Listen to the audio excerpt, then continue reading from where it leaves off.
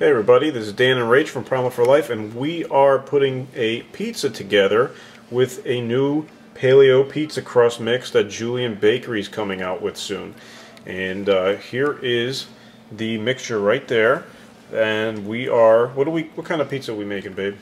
Um, well, we're gonna do a mixture. We're gonna have pizza, and on part of it, we're gonna have some like hamburger and ricotta, mozzarella, some salami, mm. and then we have to have a little section for the kid that's just sauce and cheese. Hmm.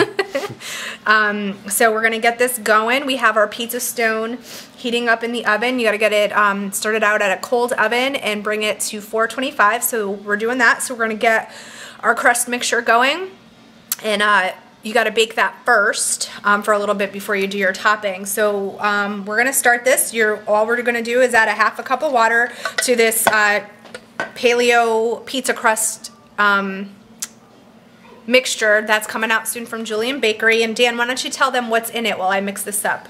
Well, it's a blend of almond flour, arrowroot flour, pumpkin, well I should say pumpkin powder, dried egg whites, and xanthan gum.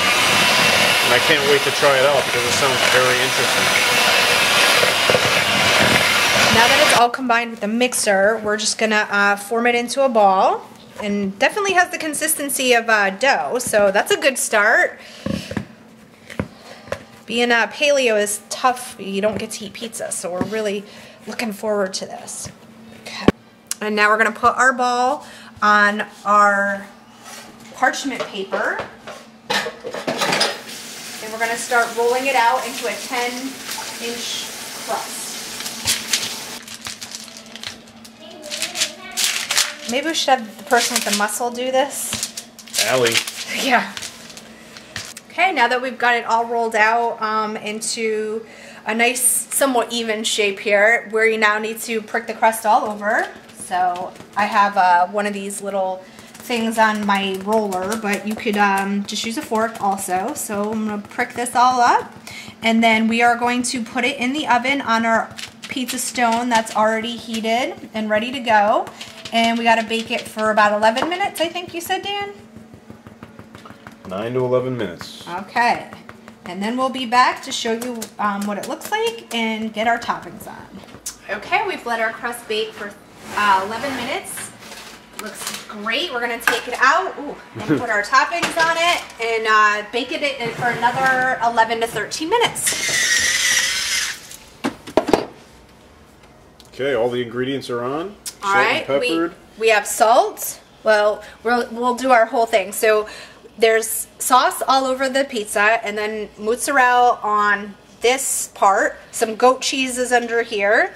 And then we have some sauteed hamburger um, all, all, over around. the all around.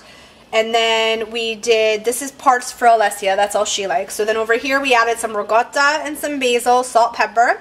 And then here we have some uncured salami, as well as ricotta, basil, salt, and pepper. Nice. So Dan's Dan's corners the little meat lovers. Yeah, I'm gonna put a steak on top of that. so we're gonna put that back in the oven for about 11 to 13 minutes. And uh, it's already looking delicious, so I really hope this crust is as amazing as it smells and looks because definitely missing eating pizza. All right, here it is. All done.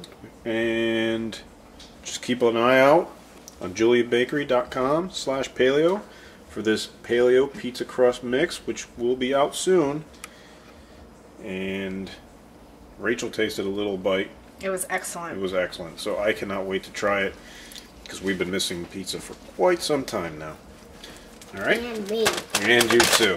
So this is Dan, Rach, and Allie from Primal for Life. Have a great oh day. Oh my god, this is so delicious. Thank you, Paleo Peeps.